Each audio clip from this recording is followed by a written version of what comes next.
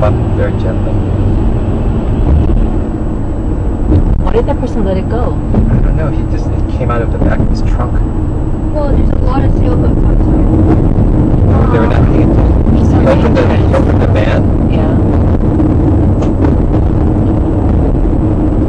If you like investing in time, it totally cut the car. What? You cannot see it in time,